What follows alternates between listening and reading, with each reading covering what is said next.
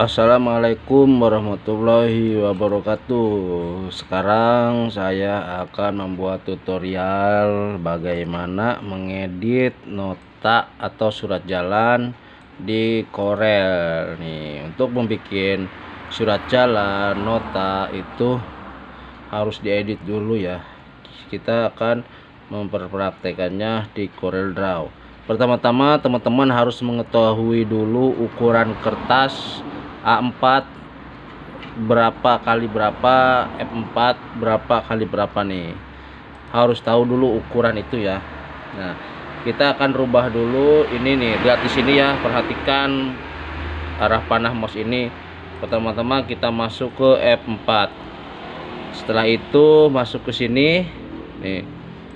Kita akan bikin nota 1 HPS dipotong dua nih ke tabel. Nah, di sini ke bawah satu, ke pinggir dua, tapi kebalik.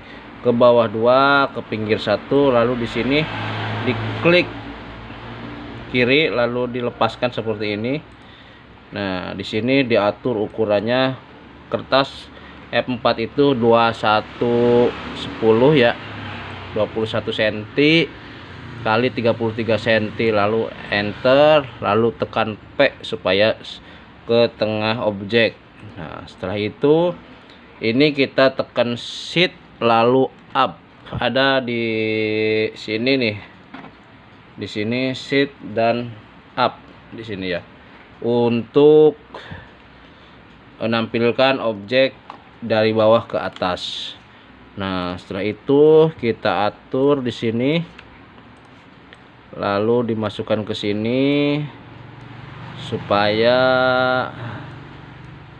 ada jarak renggang untuk e, ngeprint dan perforasinya ya teman-teman. Apa tuh perforasi perforasi itu untuk pembolong ya penyobek bolongan buat sobekan. Nah setelah itu kita masuk ke file sini lalu save. Dulu dikasih nama surat surat jalan polos garis bawah. Enter.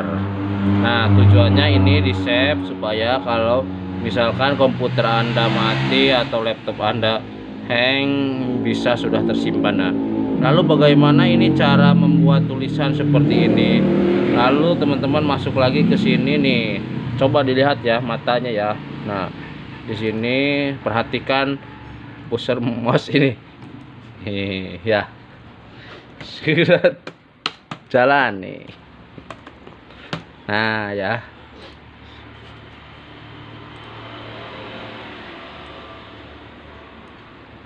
Sini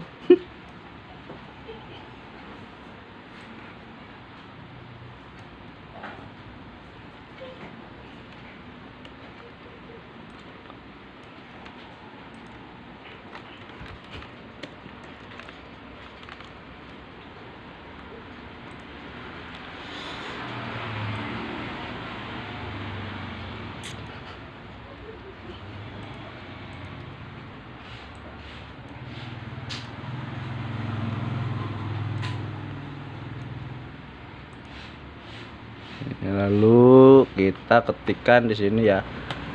Kami kirimkan. Nah ini kan bol ya. Nah di sini ini dipakai pon 12 ya. Tapi diklik dulu nih. Panah ini lihat ya perhatikan. Panah ini kembali lagi ke panas ini supaya Nah, bolnya dibuang, teman-teman. Lalu di sini nih, kita diketikan, kami kirimkan barang. Kami kirimkan barang-barang. Ponnya terlalu gede, kita coba pakai pon 10. Kami kirimkan barang-barang tersebut di bawah ini dengan kendaraan titik-titik ya?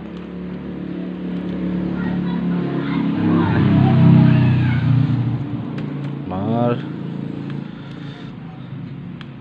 Tolong ya diperhatikan ya di sini ya ini. Nah diperhatikan. Ah sini nih teman-teman. Ternyata 12 ke ini coba kita ke 11 nah seperti ini ya. Ini 11 terlalu ini. Kami kirim surat jalan nomor kami kirimkan. Nah setelah itu teman-teman cukup tekan kontrol C kontrol P lalu dia akan mengopi paste sini teman-teman bikin titik-titik kenapa ya saya nggak dibikinkan diperlihatkan keyboardnya? Karena pasti teman-teman juga sudah tahu lah kalau keyboard mah. Copy paste ya Ctrl P Ctrl C. Atau teman-teman bisa klik kiri copy pas klik kanan paste. Itu sangat ribet ya mendingan Ctrl P Ctrl Ctrl C Ctrl P aja nih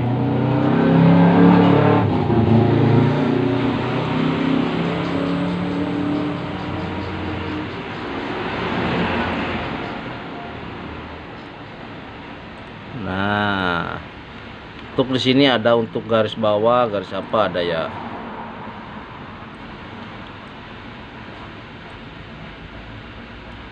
Setelah itu save lagi. Nah, sini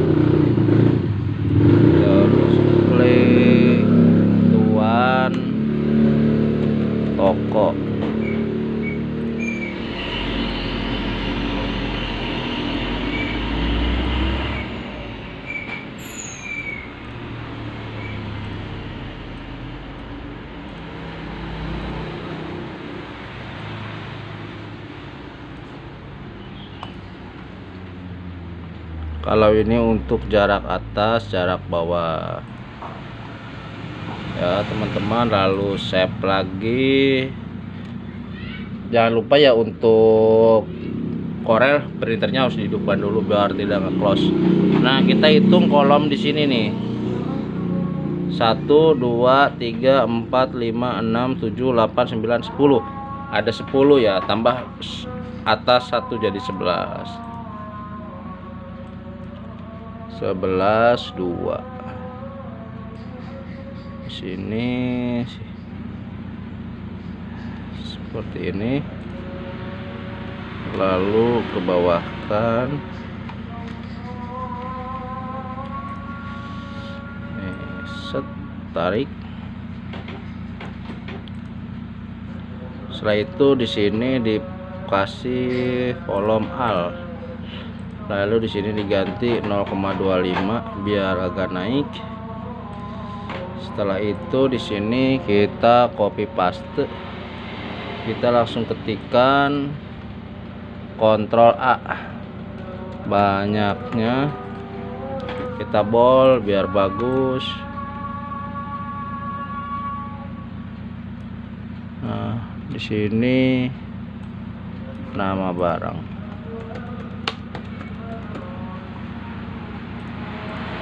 ini untuk membuat jarak renggang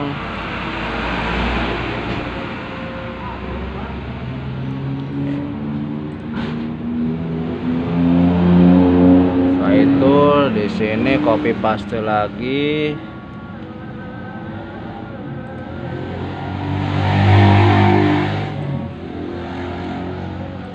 Kita ketikkan tanda terima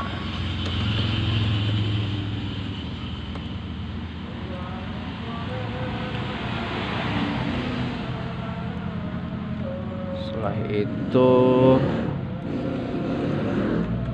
hormat kami.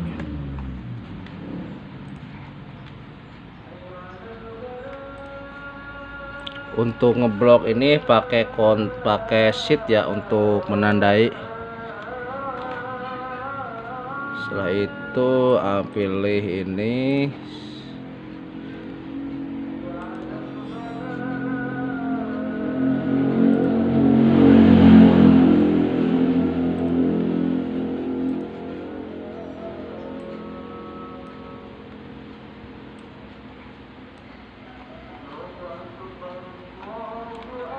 untuk membuat efek dua jalur dua garis nah ini nih jadi nih seperti ini nih. Nah setelah jadi seperti ini di blok lalu kontrol G. Tahu nggak kontrol G? CTRL nih kontrol CTRL G G itu grup. Ya kalau pengen lepas dari grupnya itu klik kiri lalu un grup nih. Setelah ini kita ataskan sedikit. Lalu kontrol C nih yang saya bilang kontrol C kontrol V. Ini untuk copy paste ya. Lalu tarik ke bawah dengan menekan CTRL atau kontrol. Ya. Nah setelah itu jadi nih. Lalu kita bikin untuk jarak korporasi di sini nih. Jadi korporasi ini nanti dibikin jarak seperti ini nih. Korporasinya dibikin seperti ini lalu tarik ke bawah save lagi. Yang contohnya udah kita hapus ya delete. Nah setelah itu kita A lagi ininya kita jadi warna yang tidak terlalu terang ya sini. Ini nanti yang ini untuk korporasi kita sama juga jangan yang terlalu terang. Nih setelah ini persenannya di lihat monitor ya aja ya. Kontrol A kontrol G. Nah setelah itu save lagi lalu print ya. Setelah print pilih printer yang ready lalu atur ukurannya teman-teman harus tahu dulu ya ukuran kertas F4 itu berapa. Kalau tidak tahu dilihat di kertas yang satu rim itu atau diukur pakai penggaris ya. Lalu ketik 3300 karena ini milimeter ya. Kalau inci beda lagi. Kalau sentimeter beda lagi ya. Nih kita coba satu print dan hasilnya seperti ini nih. Kurang lebih dari 10 menit ini sudah selesai untuk menyeting surat jalan nanti kita perbanyak. Mau dua rangkap mau tiga rangkap mau empat rangkap. Di sini sangat mudah ya teman-teman. Nanti kita lihat hasilnya ya. Yang penting teman-teman tadi perhatikan lagi dengan sesama baik-baik. Perhatikan mouse ini ke mana bisa bikin ini seperti apa bisa bikin ini. Kalau misalkan tidak kelihatan teman-teman bisa naik turunkan untuk membesar layar pakai tombol ini nih pakai yang ada di sini ini layarnya bisa ya. Atau yang ada di sini nih topek